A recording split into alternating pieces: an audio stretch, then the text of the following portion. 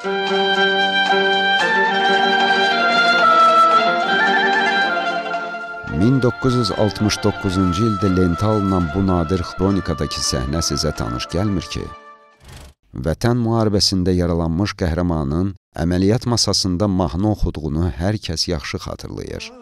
Hər zaman Qarabağ, danışan dil dodağım, Tarkaman Qarabağ, Qarabağ can, Qarabağ qana yurdum. Gözəl musiqinin təsiri ağrı-kəsici olduğunu 60-70-ci illərdə Azərbaycanın məşhur cərrahı, akademik Mustafa Topçubaşov isbat etmişdi. İzlədiyiniz kadrlarda ağır əməliyyatdan öncə xəstə qulaqcıqlarla həzin musiqi dinləyir. Mahnının bəstəkarı əməliyyat masası arxasındakı cərrahlardan biri İbrahim Topçubaşovdur. Yenə gözüm uzaqlara tüküldü.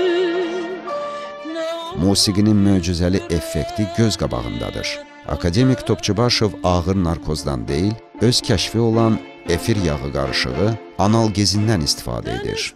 Bu metod dünya elmində yendikdir. Pasiyent oyaqdır, rahatdır, ağrı hiss etmir. Topçubaşovun tətbiq etdiyi üsul dərin narkoz yuxusu zamanı qanda narkotik maddələrin toplanmasını aradan qaldırır.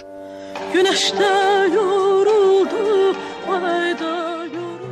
Azərbaycanlı cərrahın kəşfi 1977-ci ildə Nobel mükafatına təqdim edilir. Akademik Topçubaşov və Qəhrəman Qəhrəmanovun uzun müddətli analgeziya, səhiyyə və fiziologiyanın problemi kitabına Stokkolmdan müsbət rəy gəlir.